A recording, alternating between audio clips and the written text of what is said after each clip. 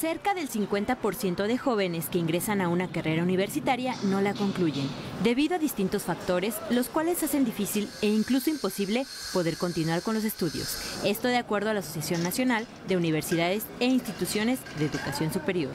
Algunos jóvenes en el nivel universitario se dan cuenta que a lo mejor su capacidad o sus recursos personales van hacia otro, hacia otro camino y muchos abandonan la universidad y se van a las partes técnicas. También eh, en, números, también estamos hablando de cada 100 estudiantes que entran a la primaria, probablemente uno o dos estén accesando al nivel universitario. Si bien la deserción escolar es provocada por varias circunstancias, específicamente los factores principales son los cambios de escuela, modalidad o carrera, económicos, problemas familiares y emocionales, exclusión social.